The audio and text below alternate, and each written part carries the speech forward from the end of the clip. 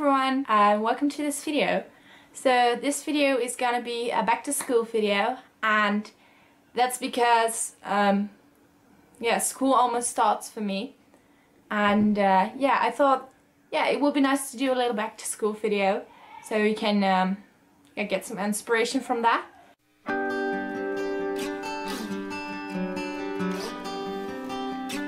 In the beginning I started with covering all of my books with wrapping paper. I use the colors brown and blue because I think they are amazing colors. But of course you can also use another one.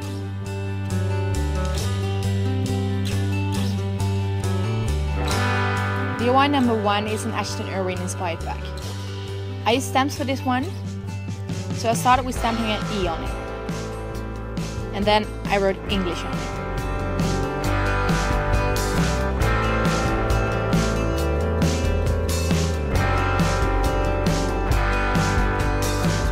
The bottom of the book, I decided to have the letters GB because it stands for Great Britain, and that's English.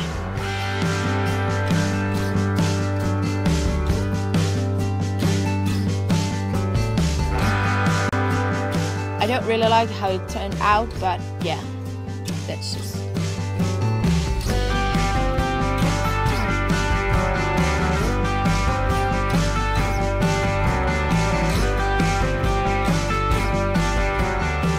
that, I cut out Ash picture and now I'm putting it on the book with some glue.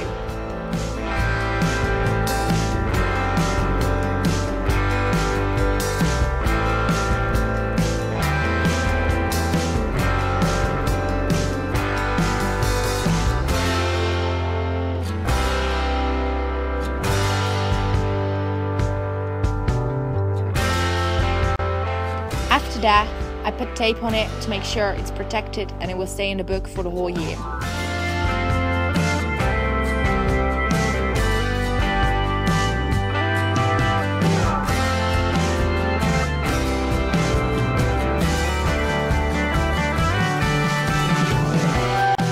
So this is how it turned out. The next DIY is an Ed Sheeran inspired one. The only thing you need for this are a notebook and some stickers. I got this Ed Sheeran one from his album X, so I decided to use that one. But you can use anything you like.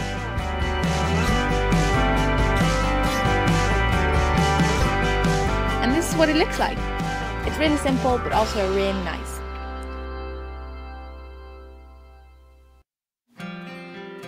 The third DIY is a protractor agenda one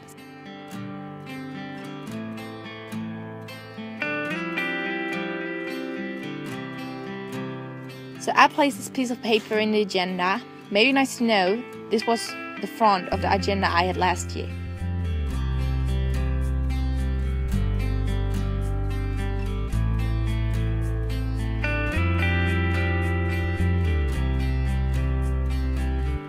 And I cut it in two halves.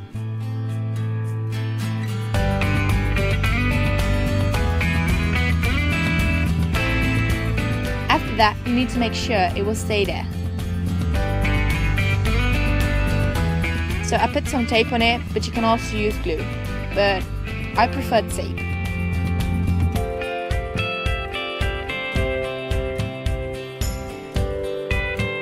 And then it's done.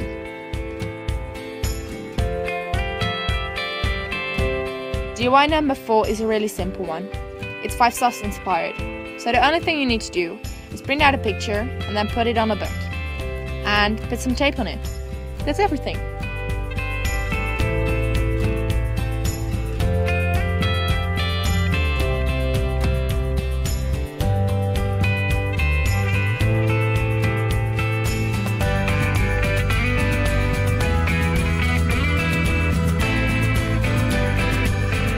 The last DIY is also 5SOS inspired.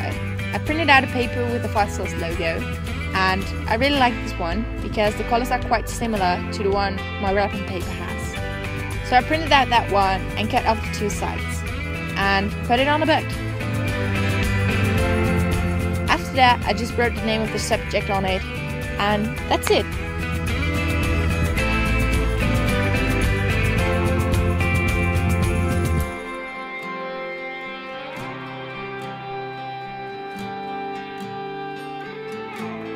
It's so easy and still really cool.